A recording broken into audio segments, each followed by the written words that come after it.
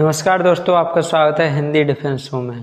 तो दोस्तों, आज हम बात करने वाले हैं चीन में जो बिजली संकट आया है, उसके बारे में हम बात करेंगे कि चीन के इस बिजली संकट का सॉल्यूशन क्या है और इससे चीन को क्या आर्थिक नुकसान हो रहा है और वर्ल्ड की जो इकोनॉमी है, उसको भी कैसे नुकसान हो रहा है। और दूसरी तरफ़ भारत के फ़ायदे के बारे में बात करेंगे और तीसरा बात करेंगे कि चीन अपने इस नुकसान को कैसे कम कर सकता है।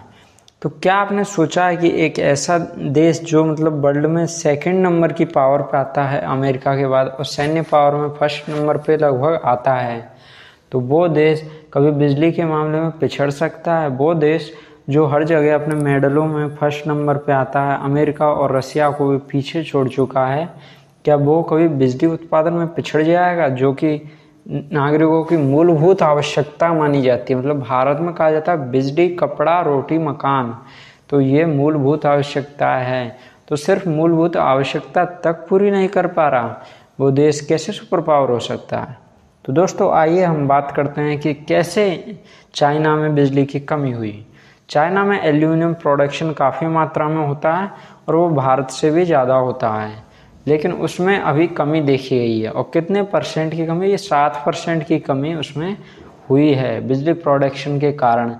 मान लो सौ टन पहले उत्पादन कर रहा था तो सात टन घटा दो उसमें से।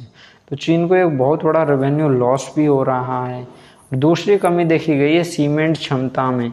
सीमेंट क्षमता, सीमेंट की मशीनें कैसे काम करती है कि एक बार जैसे आपने चलाया तो बार बार बंद करोगे तो बिजली उत्पादन, बिजली खपत भी ज़्यादा होगी और कॉस्ट भी ज़्यादा आएगा।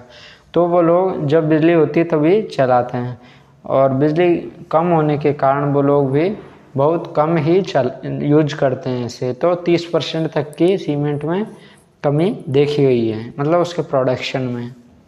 जो कि एक देश का मतलब इंफ्रास्ट्रक्चर बिल्ड करना, कुछ भी बिल्ड करना लॉजिस्टिक सप्लाई भी बिल्ड करना तो सीमेंट की आवश्यकता जनरली होती है। इसी क्रम में हम एप्पल टेस्ला ने भी चीन में अपने सप्लायर से उत्पादन होल्ड कर दिया है। एप्पल बहुत बड़ी कंपनी है मतलब जिसके आईफोन बहुत बड़ी मात्रा में बिकते हैं, और रेवेन्यू के मामले में ये वर्ल्ड की एक तरह से सुपर पावर मान लो। और टेस्ला टेस्ला भी एक अच्छी कंपनी है तो ये दो बड़ी कंपनी हैं तो इन्होंने अपना उत्पादन भी कम कर दिया है कि भाई जैसे जैसे बिजली आएगी तो वैसे वैसे हम चलाएँगे। बिना बिजली के तो कुछ हो नहीं सकता। और कई पूर्व प्रमुखों ने यह तक कह दिया कि एप्पल, टेस्ला, जो है, खपत ऊर्जा नीति का पालन करने के लिए चीनी सुविधाओं को मतलब रविवार तक रोक रही है। और इसके बाद हम बात करेंगे दोस्तों। और ये कब तक रोका गया? चीन में 26 से 30 सितंबर तक मध्य रात्रि तक उत्पादन बंद है। तो बहुत बड़ा लॉस भी है। क्यों? क्यों रोका गया है? इसका एक मेन कारण मैं आपको बताऊँ। जो कोयला आता है, वो ऑस्ट्रेलिया से आता है। और ऑस्ट्रेलिया में कोरोना वायरस के कारण चीन की उससे लड़ाई हो गई थी तो उन्होंने कुछ बयानबाजी की। उसके बाद ऑस्ट्रेलिया से जो कोयला आता था, चीन ने उसे बंद कर दिया। भाई, हम आपका कोयला नहीं खरीदेंगे। तो ऑस्ट्रेलियन का ठीक है, हम तो कहीं और ट्रांसपोर्ट कर लेंगे एक्सपोर्ट कर लेंगे, लेकिन आपका क्या होगा? तो बीजिंग ये नहीं सोच पाया कि मतलब उसका विकल्प क्या होना चाहिए। तो उन्होंने बिना विकल्प के ही सिर्फ़ दो तीन दिन में ही निर्णय लेके और जो कोयला था, वो सब बंद कर दिया। जिससे कि उनकी जो मेन ज़रूरत थी चीन की, वो थर्मल थर्मल पावर जनरेशन थी। तो थर्मल पावर जनरेशन नहीं हो पा रही थी। और इसके कारण एक और नुकसान हुआ चीन को कि सबसे ज़्यादा आईफोन जो बनते हैं आईफोन जो कि सबसे बड़े रेवेन्यू वाली कंपनी मैंने बताया था, उसकी श्रृंखला भी हॉल्ट पर रख दी गई है। और कुसान शहर में इन्होंने अपनी सुविधाओं को निलंबित कर दिया है। चीन थर्मल पावर पर निर्भर है और यह कोयले की कमी के से जूझ रहा है। जिनपिंग ने ऑस्ट्रेलिया कोयले के शिपमेंट पर भी क्या लगा दिया? प्रतिबंध लगा दिया है। बीजिंग को ऑस्ट्रेलिया से आने वाला ईंधन का जो है विकल्प जो है, वो नहीं मिल रहा है। चीन में खपत दर में 16 परसेंट की कितनी हुई है? वृद्धि हुई है और दूसरी तरफ़ भारत सौर ऊर्जा को बढ़ावा दे रहा है। तो सौर ऊर्जा को बढ़ावा देगा तो उसमें थर्मल जैसी कोई चीज़ मौजूद नहीं होगी।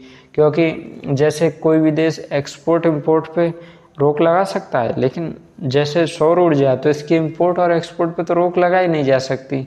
इसलिए सौर ऊर्जा सबसे अच्छा विकल्प भारत के लिए है और भारत ने इसे अच्छी तरह बढ़ावा भी दिया है। अभी जो भारत की प्रोडक्शन कैपेसिटी है वो लगभग 40 से 50 के भी गीगावाट के बीच हो गई है और 2022 तक इसे 100 गीगावाट तक करने का लक्ष्य है। तो भारत एक अच्छा कदम बढ़ा रहा है इस क्षेत्र में। हालाँकि चीन भी इसमें थोड़ा थोड़ा अब कदम बढ़ाने लगा और ये उसका विकल्प भी हो सकता है कि भाई कैसे आप अपनी कंपनियों को नियंत्रित करेंगे। तो दोस्तों, ये वीडियो आपको कैसा लगा? यदि अच्छा लगा हो तो लाइक कीजिए, शेयर और कमेंट करना ना भूलिए। थैंक यू वेरी मच दोस्तों।